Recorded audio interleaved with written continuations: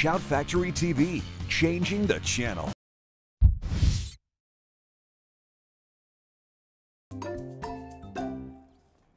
I can't believe they had the nutrient-infused potting soil. This is gonna be the best family project ever. I don't think these family projects are a great idea. You saw what happened with the Mansons. Give me your money, quick! Oh, of course. What cause is this for? Just shut up and give me the money. Dad, that's his finger he's aiming at you. Don't be rude, Bliss. Do you think they want to rob us? They have to. That's all my cash. Do you take credit cards?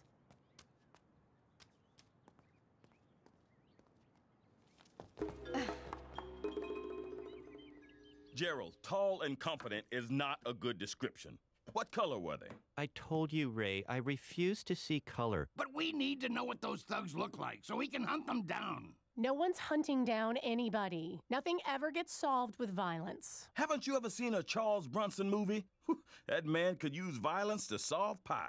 Guys, Helen's right. The only answer here is to reach out to these kids at a young age and steer them in the right direction. And that's what we're going to do. What if like eight of us reached out to them with sticks and pipes?